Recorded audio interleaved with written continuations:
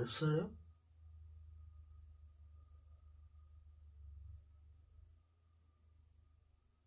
안경 벗어봐.